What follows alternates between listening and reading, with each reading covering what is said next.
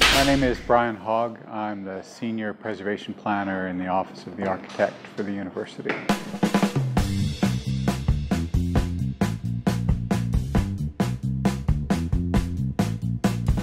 We're, we're in the middle of a $55 million renovation of the Rotunda uh, in advance of the university's bicentennial.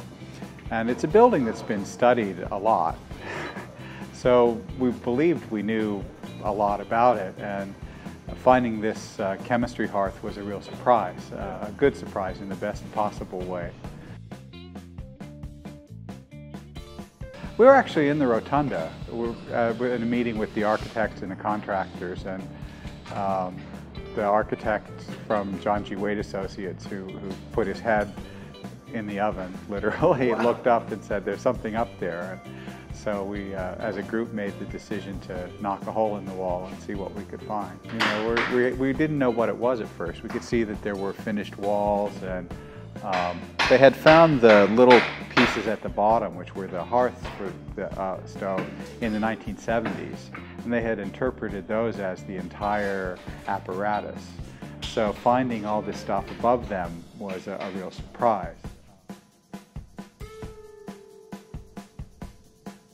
Well, it would have been used for doing chemical experiments. What we don't know is whether they were, it was used by the professor in teaching or whether this was for his own personal use. It seems kind of small for a demonstration, um, and we know that Professor Emmet, who was the first professor of natural history, believed that the students should do the experiments themselves, which was a change from the practice at the time, which was to teach by demonstration.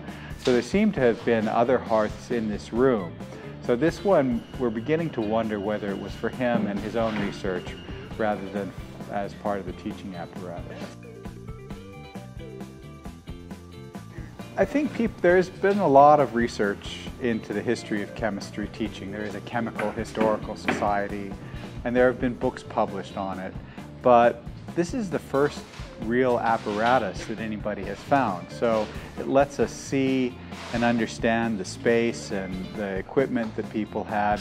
We have in Emmet's own hand drawing of things that he ordered to use here beakers and pans and pots. So you start associating with those things with it, with the teaching. Then you read Emmet's biography and see how hard it was and how dangerous it was. It was hot, it was smelly, his clothes got burned, he got burned, and it was just, this helps evoke the challenge of teaching science in the early 19th century. Well, this room will be a visitor center and interpretive center when the building reopens, as it had been before the building closed.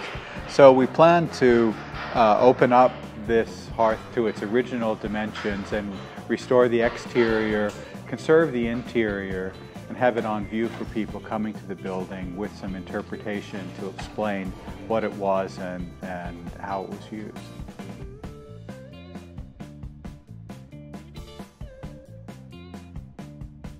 There is a, this kind of semicircular recess in each of the ends of each of these big rooms.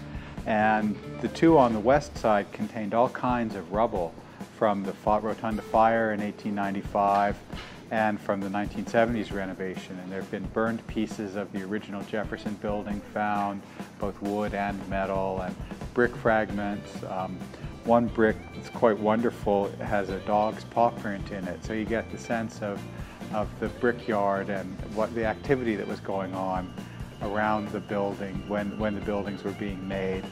Um, we found walls that we can't explain still, found footings for a big addition that was built in the 1850s.